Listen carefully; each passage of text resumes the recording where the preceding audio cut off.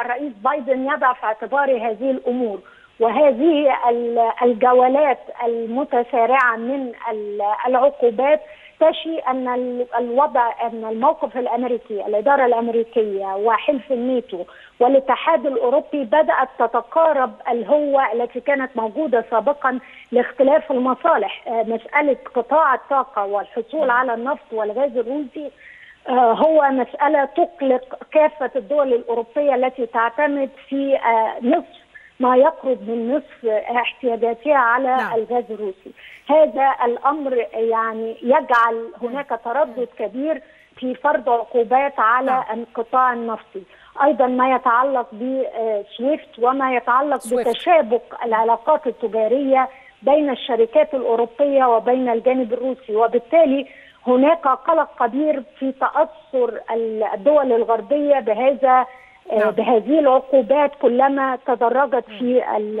ال الإعلان عنها شكرا. لكن في النهاية ما لم تقدم أمريكا والاتحاد الأوروبي على عقوبات بالفعل قاسية سيمتد أمد الحرب في أوكرانيا لمدة طويلة